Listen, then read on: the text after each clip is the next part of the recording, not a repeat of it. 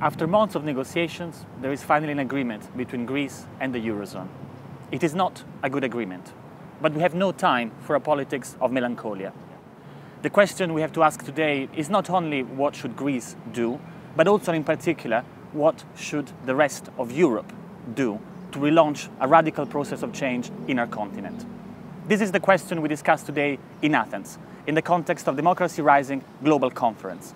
And this is the question we discuss with Costas Douzinas, acclaimed Greek intellectual and professor of law at Birkbeck College, Margarita Tsomou, Greek performer, writer, and public commentator based in Berlin, Jerome Roos, author and founder of Roar magazine, and Srećko Horvat, Croatian philosopher and member of the board of European Alternatives.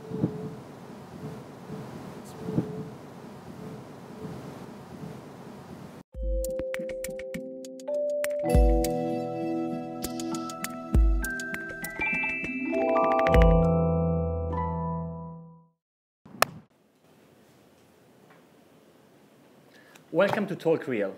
Is it still possible to call oneself a pro European and be in favor of ideals of democracy, of equality, of solidarity, of justice? This is the question that Owen Jones posed recently on The Guardian. Syriza has answered yes. I want to start by asking this question to you, Kostas. Why is it that the level of the struggle that Syriza has, has identified is the European level? And do you agree with that?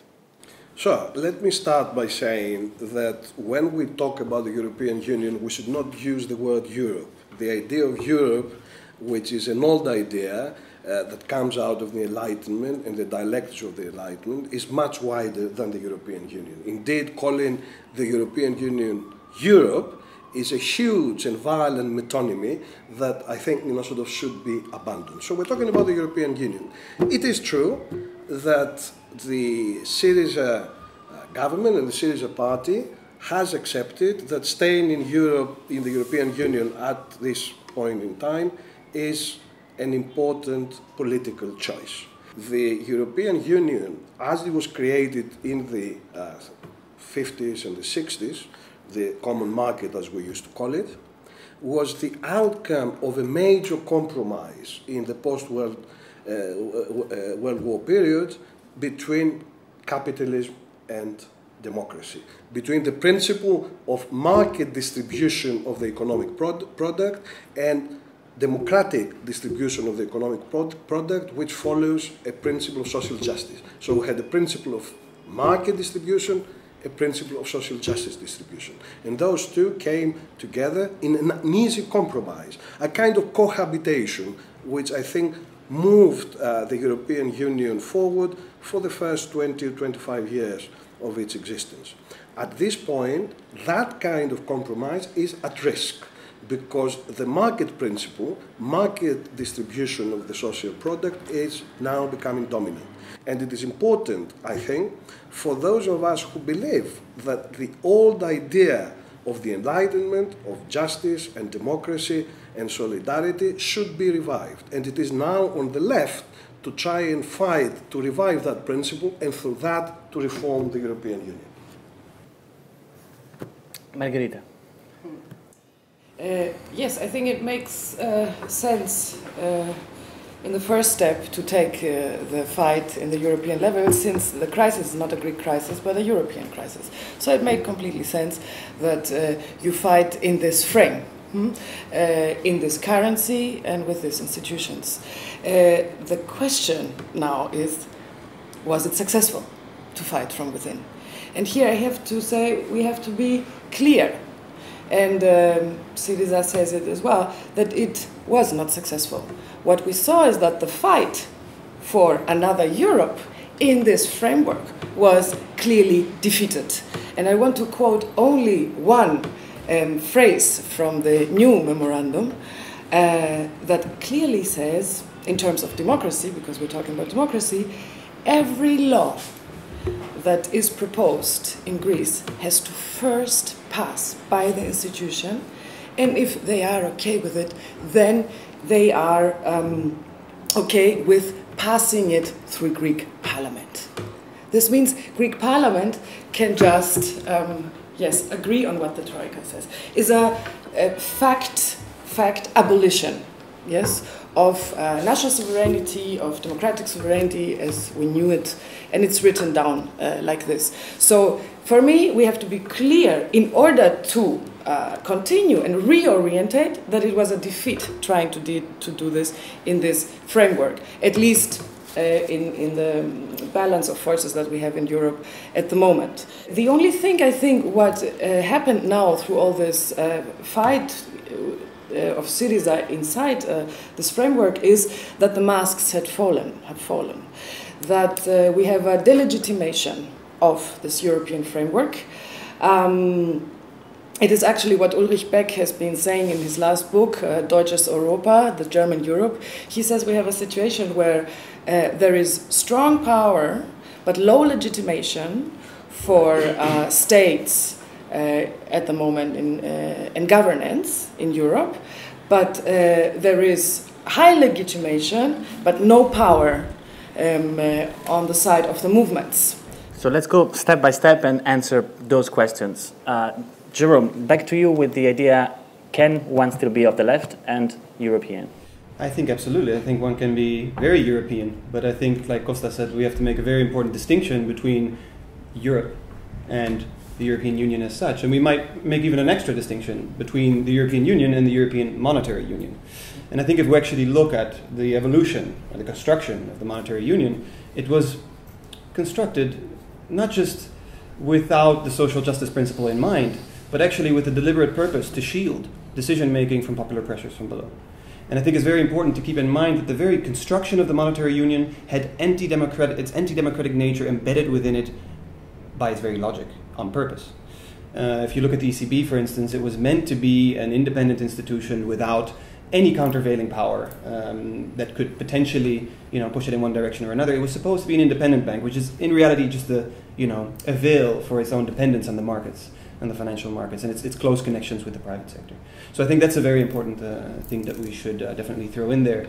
That one can be European, that one might even wage a struggle at the level of the European Union, but that, that does not necessarily mean that one should stick with the single currency as such. Okay, since I'm the last one in this round, uh, and since we are in Greece watching over the Acropolis and so on, let me start uh, by by a scene from Costa Gavras' uh, movie Capital. I don't know if you watched it, uh, where there is a brilliant scene also around the table, people are sitting, uh, and there comes the director of a huge French bank and his uncle. And his uncle is an old 68 guy, and he accuses his uh, nephew uh, of the Greek crisis and so on. You big banks are ruining countries with indebtedness and so on. And you know what the director says? his nephew, he says, but we are making your dreams true. I'm, and this guy on the other side of the table is a 68 guy, and he's completely perplexed and asking, but how do you mean we are making your, how do you make our dreams true? And he says, you know, you wanted an international, and our banks are international. And I think this is the first problem, problem we have to face, and in the, especially in the framework of, of the last agreement uh, uh, uh, between Syriza and the so-called institutions who are now again renamed into, into the Troika. In this sense, I, I completely agree with all of you that uh, uh, yes, a European left still makes sense, but the real question is does it make sense to fight uh, in, inside of the Eurozone? And I think what has been shown cl- clearly with Syriza that it was an illusion that we can change the institutions from inside.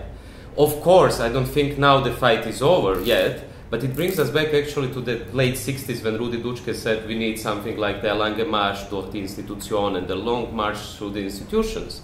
And we also know how Dutschke ended up and how the German Greens ended up. And I think this could be a scenario for Syriza as well. In the sense, now everyone accuses uh, Syriza of, of a defeat and so on. And I think they should say first, these were our failures and name the failures. But we should learn from the failures and not you know, be, be in this left melancholia to say a left party doesn't make any sense, a European left doesn't make any sense. So I should, think we should learn from, from, from the experience of Syriza. Starting from that and linking to what Margarita said in her intervention, you made me think of the very famous quote by, by Mao Zedong uh, revolution is not a dinner party.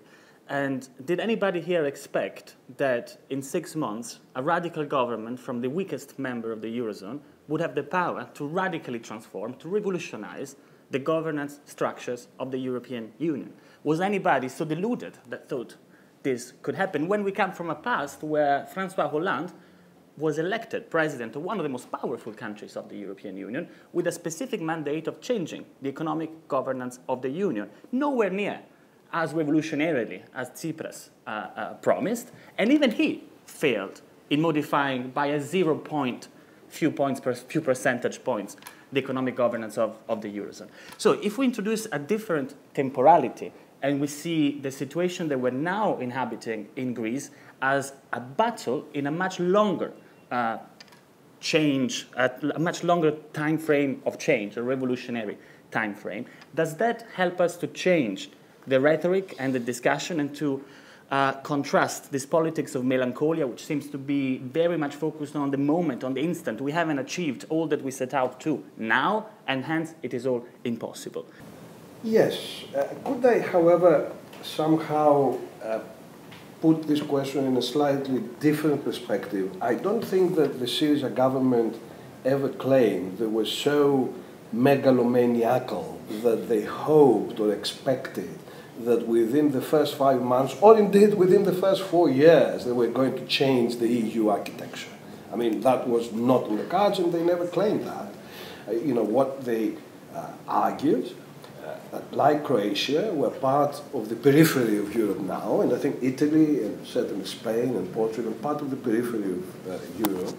And what I think they argued was that a certain understanding of the importance of democratic elections, of referenda, of the participation of people in, uh, in the political struggle and social mobilization might start changing not, again, the architecture, not the way in which the European Parliament is a talking shop. I mean, we know that. I mean, people talk about the democratic deficit. It is a euphemism. There is no bloody democracy at all at that, uh, at that institutional level. So, uh, the, in a sense, what Syriza promised, and perhaps overvalued uh, its ability to do, but we're still in early days, was not so much that somehow you know, they were going to start a new constitutional process in which Europe would change.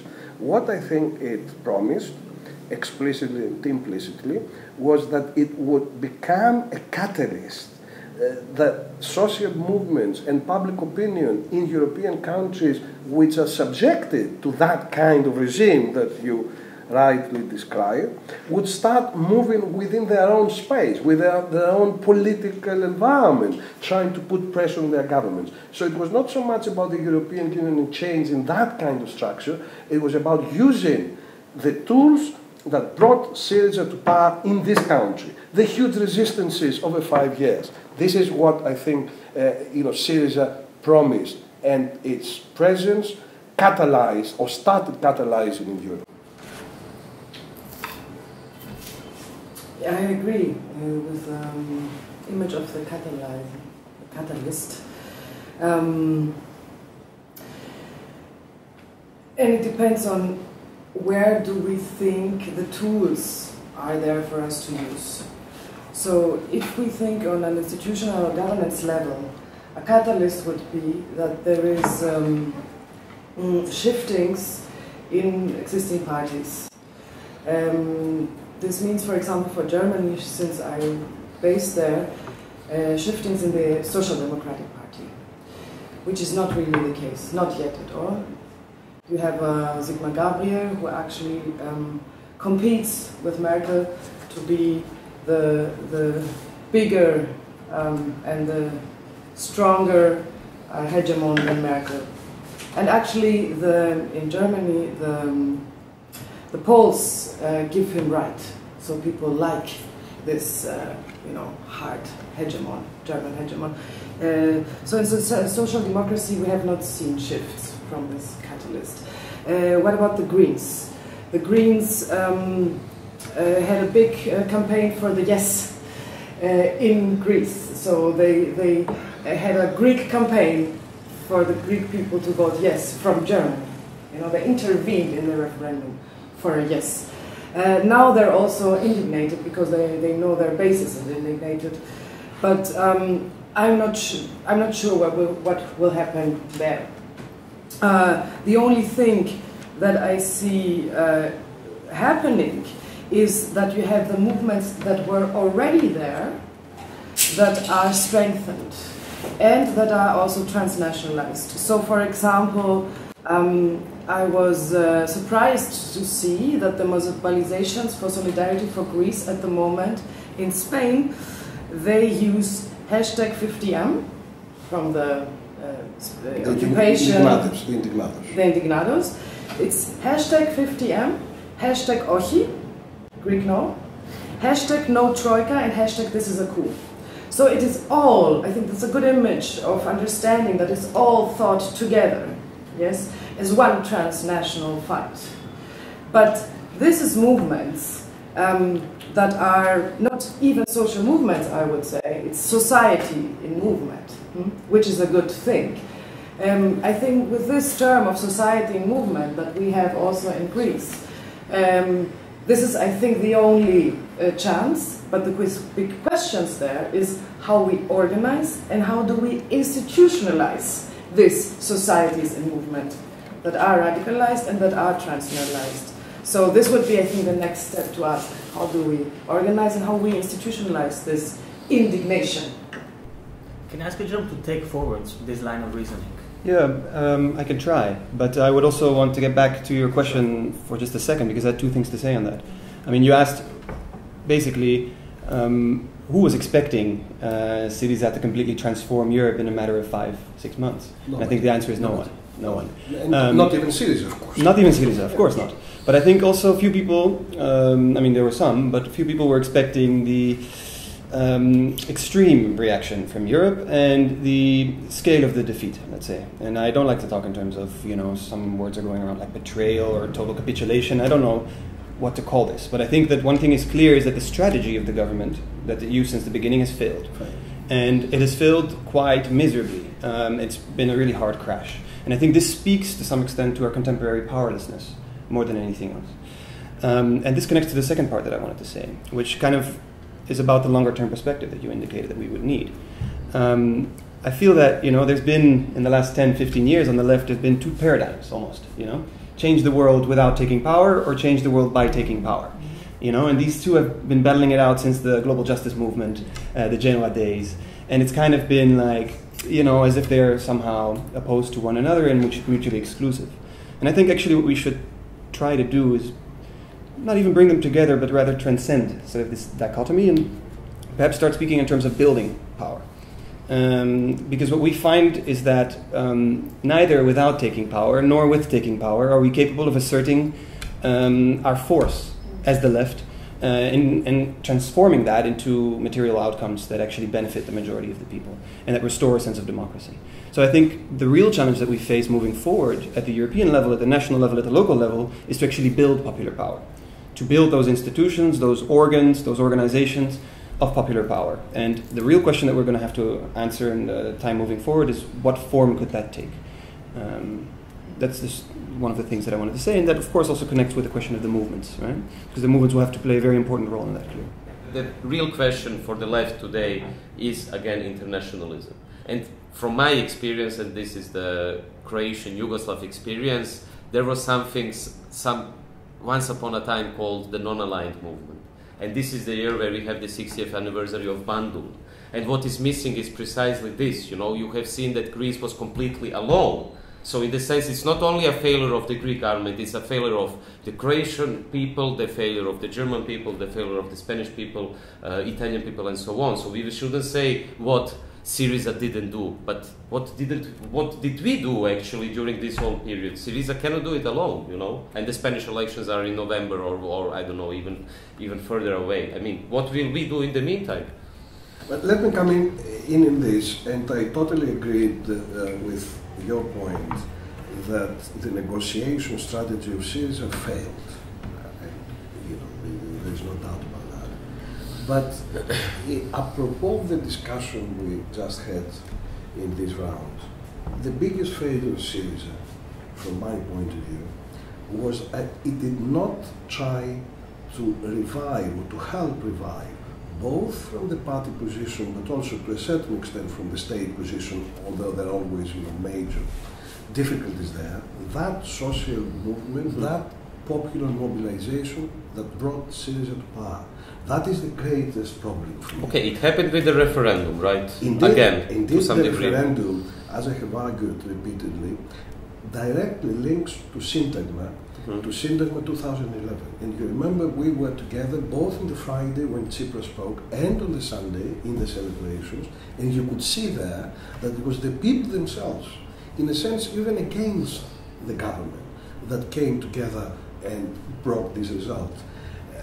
There was an aspect of direct democracy, not just in the institutional sense that the referendum is the most direct democratic uh, institution within a parliamentary democracy, in the proper direct democracy sense. Now, that is what happened in the referendum. The people, in a proper direct democratic way, mobilized, took the struggle in their own hands, outside of government and even outside the party, and in that sense, we moved from Syntagma 2011 to Syntagma 2015, and this is a great hope for the future.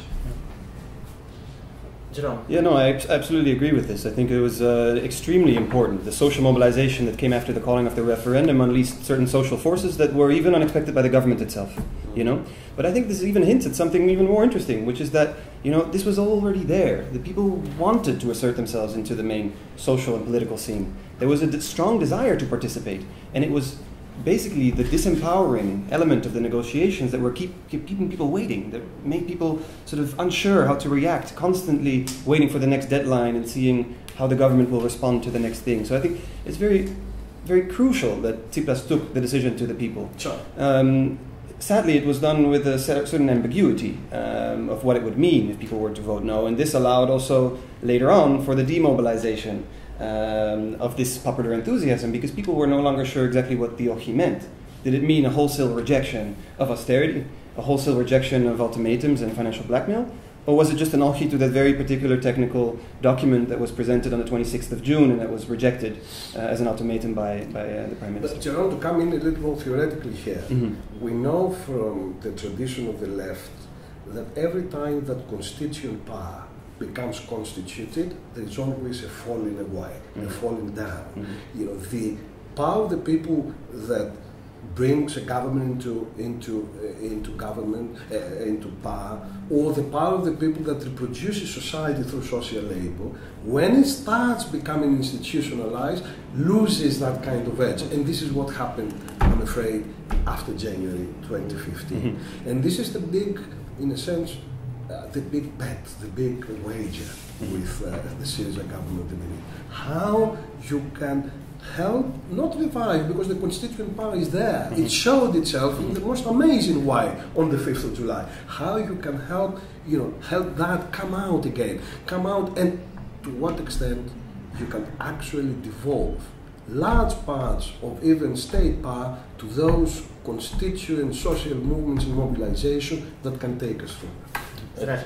It, actually brings us back to what Jerome, and I would agree with you. Uh, it brings us back to what you said. You know, uh, as far as I see it, today we, we witness really a special historical situation, and to be more theoretical, we have a combination between horizontality and verticality. And I think Syriza is the brilliant, uh, brilliant example where even theorists such as Negri and Hardt are now speaking about the, the, the necess- necessity of leadership and so on. But I think that the people in this country, in Greece, are now even more ready for some things than the government is. And you know, you have to use it, and it brings us back to this sort of dialectics, with that, which I think today is the most important thing the dialectics between verticality and horizontality, how to keep the energy of social movement.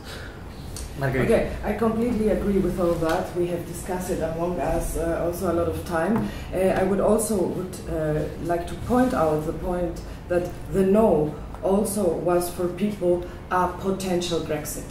They knew that voting the no might be a horizon of a Grexit, and they still did it because they risked more actually than the government is once the responsibility to have to risk. Hmm? Uh, they, I think, the people are ready to take their lives in their hands as they were also formulating. It's a phrase that the Indignados actually started uh, to say. And as you are saying, and as you are saying, to dissolve state, to combine, you know, governance with this uh, self-organization in society. This is crucial because I think the only we have in Greece now this big pole of the no a new political pole, as I said. This is the backbone of the Syriza government, and this is the backdrop for every politics that Syriza government uh, will do. And if Syriza does not satisfy the desire of this new political pole, then we have a danger. Okay, the danger is that all this delegitimation and all this non-satisfaction goes to the right. And the right is in Europe, they are ready. They're waiting in front of this door to come in. I want to ask uh, a couple of you before rounding it off uh, a question on popular power uh, and the catalyst that you, Margarita, were mentioning before. Uh, Greece is fighting not only on behalf uh, of the Greeks, but it is fighting on behalf of Europeans, and it is fighting for a vision of a different alternative Europe. The question, where are European movements, where are the peoples of Europe in this fight, is a question that I still would want to pose. Why is it still so difficult in Europe today to make an equivalence between uh, the necessity of helping Greece and the necessity of helping oneself? Why is it so difficult to make the equivalence that the memorandum, the logic behind the memorandum on Greece is the same logic that privatizes healthcare in Romania, privatizes the highways in Croatia, uh, attacks labor rights in Italy or evicts people in Spain. Perhaps, Jerome, I, I would start from you. yeah, uh, my answer would be that basically, you know, we've been told that this Europe is about solidarity and cooperation, but in reality, it's actually a very divisive instrument of the ruling class to basically play different European countries and working classes from different European countries apart by pitching them in a fierce competition amongst each other, and by basically allowing, especially German capital, to use the single currency as a surplus recycling mechanism. You know. Um, what we're seeing, I think, is that the European Union is producing greater, or the European Monetary Union in particular, is producing greater uh, rivalry and opposition and nationalisms than we had before the European Monetary Union. So what we have to question in the first place is, you know, is this type of European integration really European to begin with? And I think the answer is no. So what we have to start doing is to start rethinking from the very basis um, what it would mean to, you know, really integrate Europe along the lines of, you know, popular culture and popular power. And I think that would really have to come from the bottom up, and the particular concrete forms that that will take is something that we'll have to discuss over the, over the months and years ahead. Costas. As many people have commented, while the European elites have become fully Europeanized and they go to Brussels to get uh, various grants and to be part of the so-called comitology in the various committees of the European Union, a European demos has not been created the idea of a common European culture, of a common European origin that in a sense can play the role of a cultural common ground has not happened. And to that extent, going back to the point that uh, Srećko was making earlier, Ho Chi Minh perhaps, it is important for each one of us to fight in their own countries, to fight within their own movements, and so on. Internationalism is one of the greatest traditions of the left it is precisely about solidarity. It is not about philanthropy. It's not about humanitarian gifts. It is about standing up with people in other countries because we have common interests. And let's close with the last question uh, along, along these lines. One minute for each of you to uh, give a proposition uh, and a direction forwards. Greece has done, regardless of the opinion that one may have about Syriza, has done an enormous amount of work in reinstating the attempt to create a rupture in Europe and to transform the structures of the European Union. But what has everybody else done, and what should everybody else do? I would like to close not commenting on Greece, not commenting on Syriza, but commenting on what is the responsibility of Europeans, however you want to define it, to act now. Where should we restart from? Maybe Srećko, we start with you and we close with Costa. I have such a historical responsibility that all this process starts with me. Oh, okay. I would say, I mean, uh, although the defeat or someone call it capitulation is flying above our heads, uh, we should be honest to ourselves and say that, um, let's say, after, I, I would say there are three paradigm shifts which we as the left witnessed as the international left so the first one was of course porto alegre and genova and this world social forum tradition meeting each uh, each year in another country in tunisia and senegal 50000 100000 people and so on uh, where I think we also came to some walls uh, where we have seen that it's not really a new international. Uh, they don't, they didn't, uh, the World Social Forum didn't have the strength to question the status quo and so on, and it was mainly networking, uh, organizing, making plans and so on. Then in 2011, uh, we, we have a new shift, and this is what uh, what Costas uh, in his book calls the time of, I mean, history reloaded. This is the time of revolution and so on. And we have seen all these occupations, which are mainly grassroots movements, ordinary people, uh, from Tahrir Square to Gezi Park, Occupy Wall Street, but also countries such as Bosnia, for example, where plenums happened, where general assemblies happened, without any political parties and so on. And then we are now in the third paradigm shift, and maybe it's even going now into some new directions, which is that new political parties have been created, not only Syriza but Podemos, but also in Slovenia and so on. And what is to be done is, I think, that all these three shifts or paradigms should be combined. On the one hand, we need internationalism, and I think Syriza and Podemos haven't worked enough on it. Although they created, they were a catalyst, they, they created a huge space. But the thing is, you know, when you come in government in Greece, you don't really have the capability to still work on all these other fields because the country is collapsing. And for the last days, for example, the banks don't work. So it's very difficult. And just to conclude, you know, the other thing is, again, which brings us back to, to the movements, we need to be in contact with social movements all the time and not to fall into the, the trap of the old political parties from the 70s and the third is, of course, yes, we have to think about power, because uh, I think this changed finally in the left, in the international left. We are not afraid anymore of power, in the sense that we know if we want to make things, if we want to change things, yes, sometimes we have to sit on the table with Merkel and Schäuble and so on. But the real question, of course, is, and we've seen it with Syriza, what do we do at the table? I think now is the time for Plan C. Um, why? Because we've seen a left that's been not necessarily divided, but at least it has theoretically, um, and also in terms of strategy and, and, practice, has sort of divided itself between this, you know, not taking power versus taking power route. Um, we've also seen uh, dual strategy within Syriza itself. Uh, do we stay in the euro? Do we go out the euro? And I think it's time to shatter those dichotomies and really take the struggle to a whole new level and start working on the basis of a new paradigm, right? Mm-hmm. So there's a lot of people talking these days about the commons. Um, uh, as a you know as an alternative form of um, organizing, self-organizing, an alternative form even of property uh, relations. And I think that we should really start exploring these type of alternatives. And I think that even under a memorandum government, there will be opportunities for this because this is something that a comes from the grassroots up, and b that a left government, as long as it remains in power, can in one way or another support, right? So it's really important that we start thinking of what would it mean to actually involve people in the actual processes of social change and to create that space and to provide that hope for people to stand forward. And you know that will is there. The constituent power, as Costas mentioned, is there. Um, the desire to participate is there. Um, the greatest threat at this particular moment is the demobilization as a result of the complete resignation of the people. So if a government of the left manages to stay into power, it should inspire the people and it should give that space and it should create those opportunities for Plan C to, to start taking shape. But the Plan C ultimately rests, the responsibility for this rests with the people. I mean, it can only come from the bottom up. Yes, um, I would like to talk about the reinvention of the left. Um, I don't think that uh, we have a perspective if we continue thinking in uh, social movements, if we had them, in the practice of demonstrations, only in the practice of protest, as addressing the power in order for them to give us something. Uh, I think people are um, more advanced than that.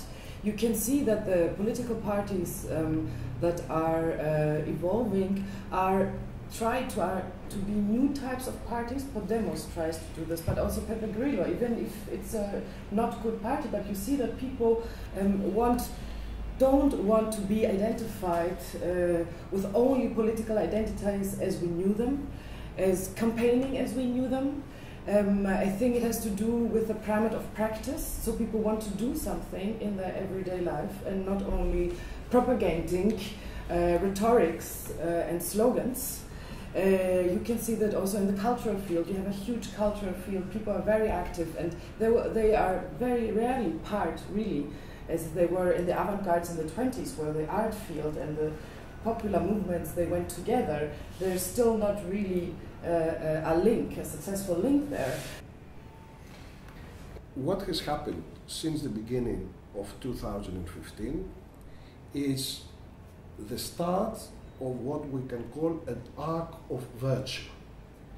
We on the left have learned really hard, in a hard way, over 50 years, a series of instances of theoretical failure and political defeat. We have failed and we have defeated again and again and again. And as everyone said earlier, it was the people in Greece, in Spain, in Egypt, in Tunisia, in Turkey, in Brazil, who were well ahead, both of the great theories, radical theories of the time, but also ahead of political leaders, political parties of the left. And it has started changing. The arc of virtue, I call it. Look at Turkey. The huge victory for the Kurdish and leftist party in Turkey, which now is challenging the Erdogan rule. Then we move to Greece. Then we move to Spain. And of course, we expect and hope that Podemos will win. But the victories in the local elections were amazing, particularly in Madrid, which was the center of the Francoist regime. And then we move to Ireland. And then, of course, to Scotland, that needs to be emphasized again and again and again. And we have, to a certain extent, to celebrate that and see how the lessons we've learned over the last five years, not just in the last five months in Greece, the lessons of success and the lessons of failure and of defeat and capitulation, how these lessons can be put into practice in everyone's home, in everyone's country, in everyone's city. This is how internationalism and transnationalism will start again. If we start winning small victories at the beginning and hopefully bigger victories later. We have a resurrection or a revival of history. We were told that history ended in 1989. History has started moving again, and this is the place which, uh, in which, as it were, that revival of history is at its highest point. So let us go away having a little hope. Let us keep to our melancholia. You have to be neurotic in order to be a standard person. Keep to our melancholia, but also see that possibilities have opened again. And the way I would put it, from Syntagma 2011 to Syntagma 2015 and the democracy to come. This is the position that I'd like us to live with. Perfect. History has started again. We started from there is no alternative. Now I think there is broad agreement in Europe that there is no staying put with the status quo. The instability that's been inserted into the structural dynamic of the European Union represents an opportunity. We may win, we may lose, but at least we can fight. We are in Athens uh, at a historical moment, but we're also in Athens at a very important conference that's bringing activists and theorists from across the globe to discuss over four days. We close, as usual, with an interview with the organizer of the conference, Creston Davis. What is democracy? What does it mean for democracy to rise? Is it rising or is it declining? This is the question. These are the many sets of questions that we here in Athens are convening to ask.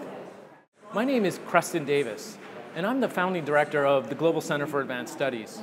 It's a school that we founded with uh, many theorists and activists around the world. A school committed to the idea of democracy. A school committed not to a party, not to, uh, neither to uh, an uprising, but rather a mediation between uprisings in the world, from Occupy to the Arab Spring to Athens to Frankfurt to all over the world. These uprisings, the school is connecting the uprisings with um, the question of organization, a, a pedagogical organization that unites various people from all over the world. We have 45 different uh, countries already participating in what we're doing. We want you to participate as well.